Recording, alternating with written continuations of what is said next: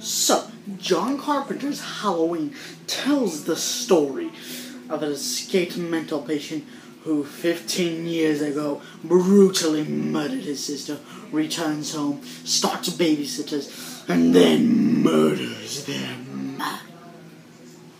And this is one of my all-time favorite horror movies.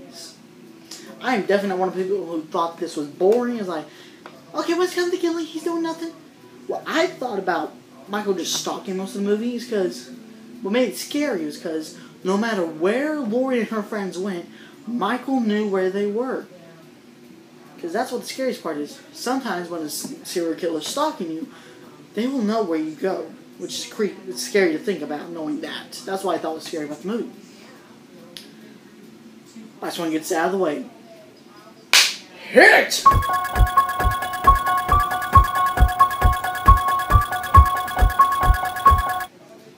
You can never beat the classic Halloween theme music.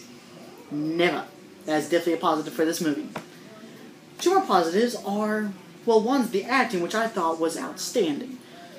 Everyone in this movie was an amazing actor, especially from two certain people.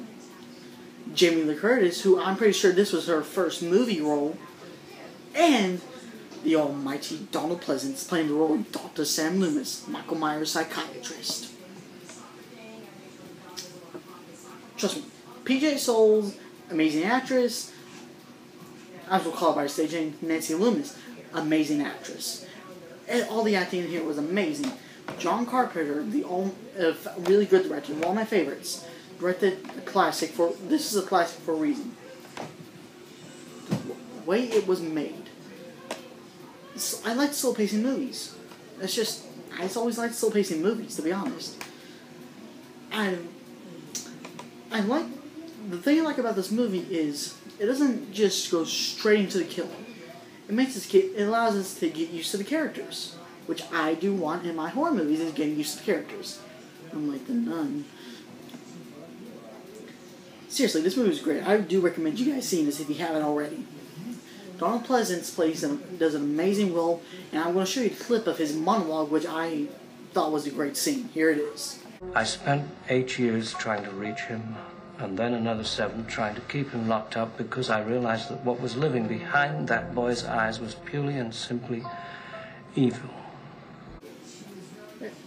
Donald Pleasence was actually not originally supposed to play this um, play this character, but a couple other people who were in mind to play the role turned it down, and so the role went to Donald Pleasence, which I am happy with because he's one of the few things you remember from this franchise from one, two, four, five, and six, which was his actual last movie ever in life. Which, rest in peace, Donald Pleasence. The thing that makes this movie work. Oh, The Mask. I do gotta recommend The Mask in this movie. The Mask was amazing. It was just a William Shatner mask where they got the eyebrows, spray, spray painted a little bit wide, messed up the hair, and it looked great. Throughout the series, the masks tend to get a little eh, but this is the original mask, which I, I like.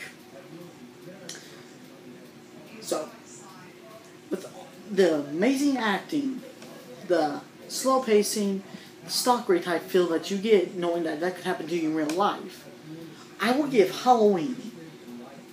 Well, before I give my rating, I want to get talk about the kills. And people are going to agree, but I thought the kills just a little bit silly. Uh, here's Nancy's death.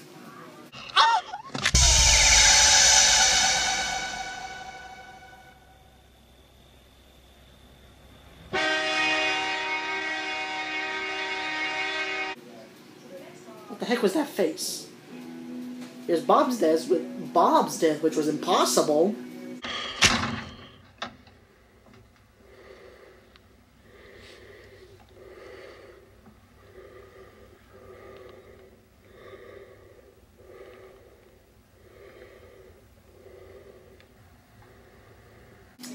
Seriously, how Knight didn't go through him all the way? He couldn't be stuck to that wall.